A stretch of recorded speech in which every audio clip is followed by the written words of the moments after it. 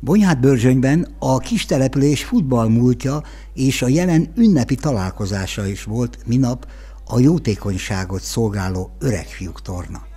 Miután véget ért az öregfiúk csatározása, lezajlott az ő eredményhirdetésük, Bonyhát Börzsöny megye kettes, hivatalosan kétszeres, nem hivatalosan már zsinórban háromszoros bajnok csapatának játékosait kérték a pulpitos elé. Két megnyert bajnokság után a harmadik, mint ismeretes félbeszakadt, ám a három tavaszi forduló után a bőrzsönyiek álltak most is az élen, így okkal ünnepelték magukat újra, érmeket és ehhez szükséges serleget más csapatokhoz hasonlóan maguknak előállítva.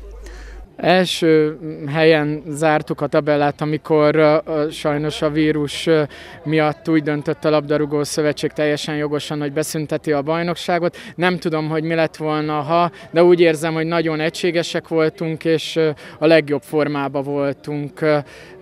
Vannak ingadozások több mindenkinek az életében, lehet, hogy lett volna nálunk is, de jó formában voltunk, szerintem megnyertük volna. Bonyhádbörzsönyben évtizedek óta megvan az a három-négy helyi játékos, akikhez csatlakoznak a nagy bonyhádból kiöregedő, de még futballozni akaró játékosok, de olyan fiatalok is, akiknek megfelelő perspektíva a megye kettő. A siker titka a foci tudáson túl az a közösség, ami itt évtizedek óta kialakult, illetve stabilizálódott. Emiatt is tudták az elmúlt években legyőzni legnagyobb riválisaikat. Mivel csak három mérkőzés ment le, azért, azért voltak, tehát én azt mondom, hogy a közvetlen riválisok, ugye, akik ott voltak, egy Mórágy, egy Fad, egy Madocsa, velük az összes mérkőzésünk ugye vissza volt, de sajnos nem tettünk róla, nem tudtuk lejátszani. Mi álltunk volna elében, nyilván ők is focizni szerettünk volna, sajnos az élet közbeszólt, és így alakult.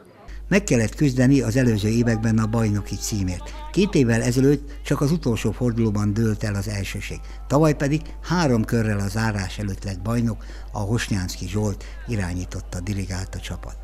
Az eredmények alapján most már azért elég vonzó lett Börzsönybe játszani, hiszen ha körbenézel, azért jó a pálya, jó a, jók a körülmények, eredményes a csapat, tehát szívesen jönnek ide, de nyilván azért megnézzük, hogy ki az, akit szeretnénk mi leigazolni, mert, mert nem, nem mindenkire van szükségünk, tehát olyan, olyan ember kell, aki, aki, aki csapatjátékos, beleillik a csapatba, vállalja ezeket a dolgokat, és, és úgy, úgy tud inkább ide jönni. És nem a pénz a motiváció, amely már a megye kettőben is némely csapatnál bizony jelen van, de a bajnoknál éppen ellenkezőleg. Itt mindenki a sporták szeretetére és a, a, a labdarúgás szeretetére játszik, illetve a, amit, amit már említettem az előbb a csapategység miatt, tehát olyan csapatot sikerült kialakítani, nagy, nagyon nagy része a társaságnak barátok, akár a pályán, akár a pályán kívül, és egy ilyen közösségbe inkább szívesen jönnek játszani. Mi itt azért játszunk, mert szeretjük ezt a játékot, és szeretünk eredményt is elérni, de a legfontosabb, hogy együtt egymásért küzdünk minden hétvégén, edzéseket is komolyan vesszük, és